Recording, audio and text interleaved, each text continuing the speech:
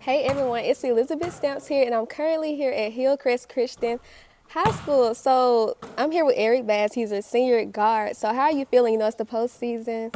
How are you feeling about that? Um, I feel good. I mean, ready to get back on the court. So what was the most exciting thing that you remember from the season?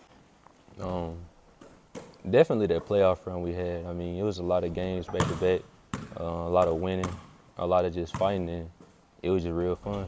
And you did come here your sophomore year. hmm So how do you feel your playing ability, your leadership ability? How do you feel like all of that has changed? You know, from your sophomore year until your senior year.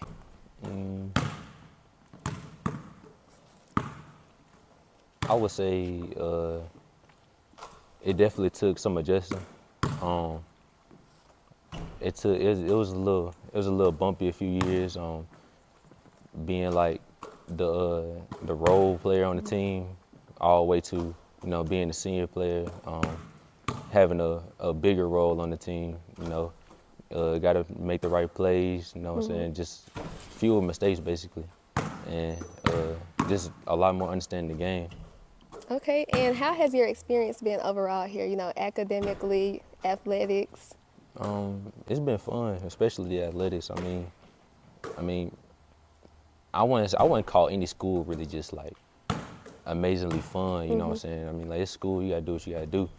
But I've had a, a very fun time here. Learned a lot. I mean, Okay, I can't ask for I can't ask for much more.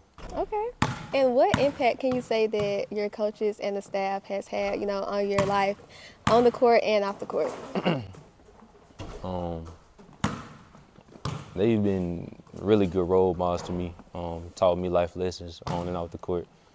Um, taught me how to lead better. Taught me, taught me more discipline. Really, anything that a man really needs in his life.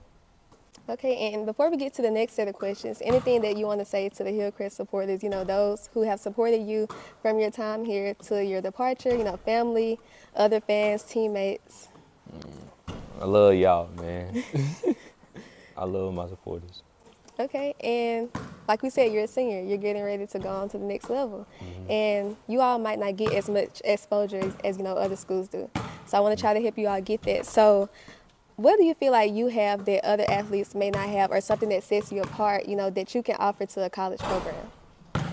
I'm just that dog, really. I mm-hmm. mean, I'm doing, I'm gonna do whatever it takes to win. I mean, whether that's strictly defense or just making the right plays or even cheering my teammates on, just keeping that uh, good positivity on the team. I mean, I'll do whatever it takes. Okay, y'all hear that? And what are you looking for in a college coach, college program? Like, what are you looking for? Just support, really. Like, I just need to be able to know that my coaches believe in me, and I don't know. I just feel like, uh, just need to feel like home, really. And last thing, anything that you want to say to any college scouts that may be watching? I'm ready. Ready? I'm here.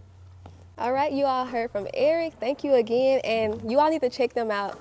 I'm gonna post his highlights, gonna post some of the things that he's done. So make sure that you all check him out, and you know, reach out to him and give him that offer. Okay, thank.